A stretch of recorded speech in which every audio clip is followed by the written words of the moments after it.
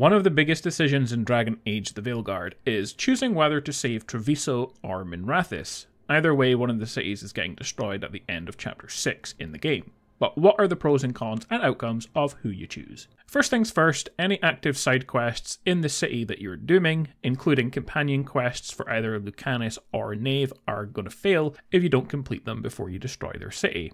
So you want to get those done before chapter 6. Make sure you have a backup save just in case.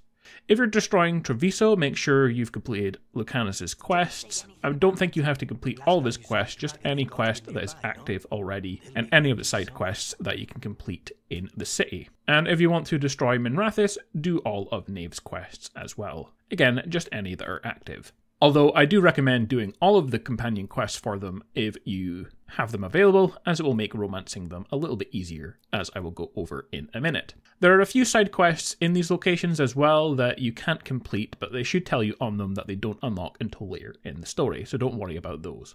Next, whoever you decide to go against will leave the lighthouse and no longer be a companion for a while in the game. So if you prefer to have one over the other, say you're trying to romance one of them, you may want to make your decision simply based on that. However, they do come back as a companion later in the story, but with some differences, as the character that you destroy the city with will have some of their skills hardened. If you choose to destroy Treviso, Lucanis, or if you destroy Minrathous, then Neve, they will no longer be able to use some of their skills, specifically their healing skills, on your party. If that's a skill you use a lot, then it may be worth considering. At the same time, hardening increases the strength of a handful of their skills. For Neve, it's her cold damage against barriers and their cooldowns. For Lucanis, it's his necrotic attacks against barriers. So there are some differences in their attacks. Hardening also means that building your relationship with this character, for example, when you're romancing them, will progress more slowly, although it's not impossible. But as I mentioned before, you can do all the companion quests for those companions before destroying the city, which will make things easier.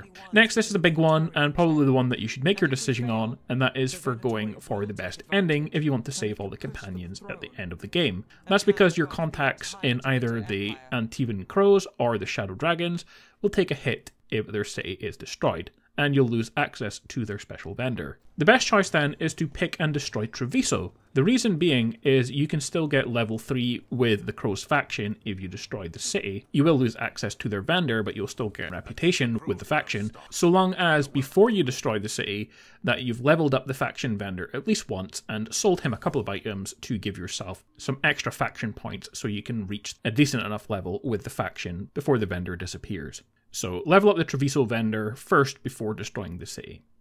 However, if you were to do it the other way around, you can't get to level 3 with the other faction if you were to destroy Minrathous.